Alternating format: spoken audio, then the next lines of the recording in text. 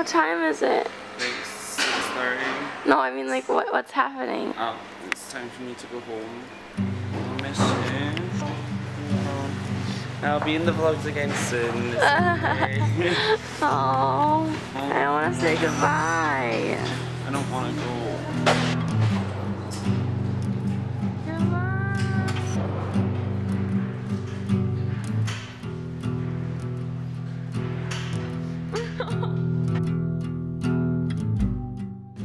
Morning, good morning, you beautiful people.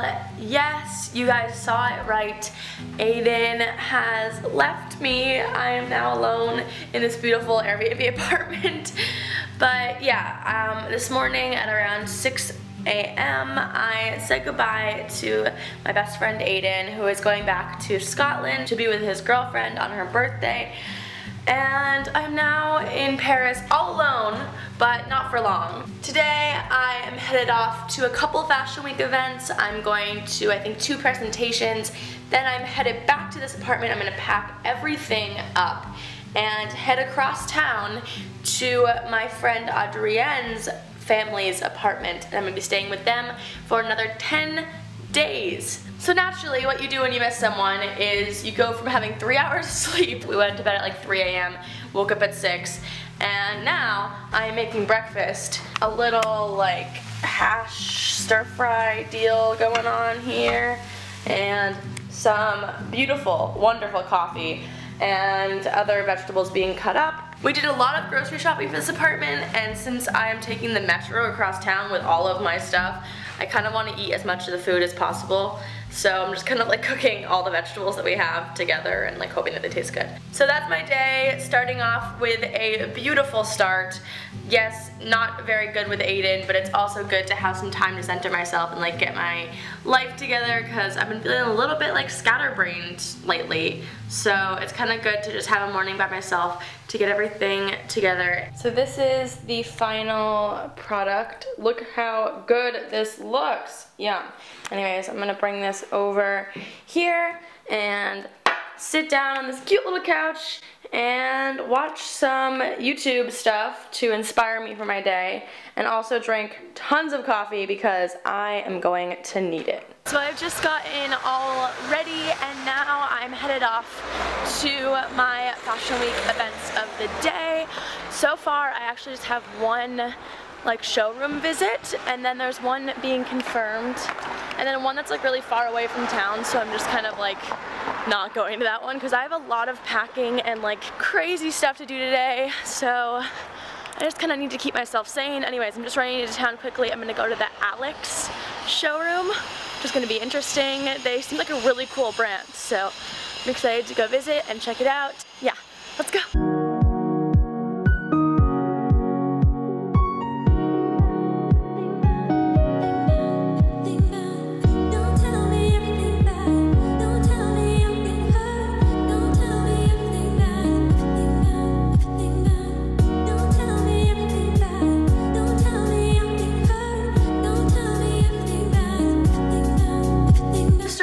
Back at the apartment. Oh my goodness, the Alyx show was amazing. I really enjoyed it. I got to meet the designer. It was kind of awkward though because I didn't realize that he was the designer and I was just talking to him and then I was like, oh, so what do you do here? He's like, I'm the founder and designer. I'm like, oh, cool. Anyways, it was a fun time. Now I am back at the apartment and I need to get all my shit packed up, but first I am starving and exhausted and need to eat something. So I just heated up some more of the stuff I made this morning. And then I cut up some mozzarella and tomato. I'm gonna eat that and then watch some YouTube. And then we're gonna get to work and get all my shit packed up so that I can go and switch apartments and sadly leave this one. But I'm still in Paris, so it's not that heartbreaking yet. Although at this point in the day, I'm like really missing Aiden a lot. like, I mean, it's hard when you're so tired in the morning. I mean, it's like, it doesn't really register that the person is leaving, you know? You're like, what? Like, just, you can't, you, I don't know. It doesn't feel real. And then, now he's gone. It's so sad. But, I have coffee, so that's like second best.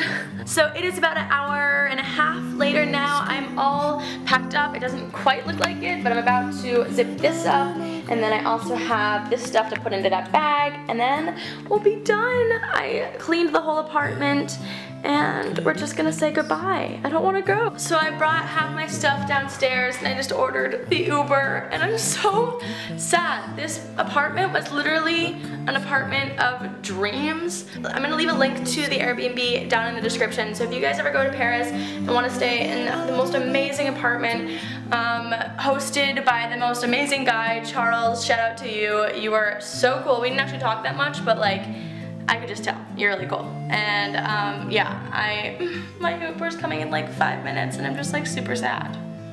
Yeah. Anyways, off to new adventures.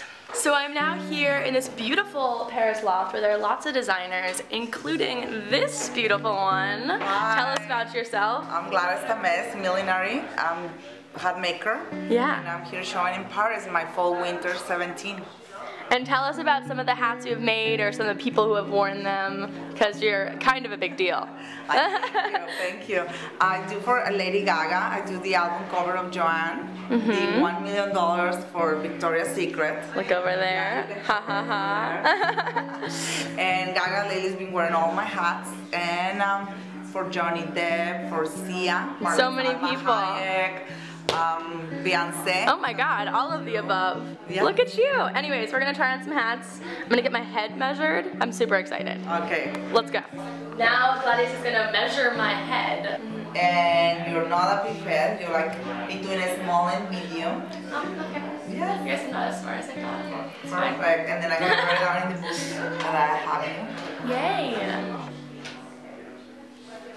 This is a fashion icon for Fall Winter 17, and it's all based on my my uh, my icons from the 1970s, pal- like for example Anita Pallenberg, Faye Dunaway, Edie Sedgwick, It's amazing, so gorgeous. Rise, the Bardot for Brigitte Bardot, Bianca for Bianca Jagger. Yeah.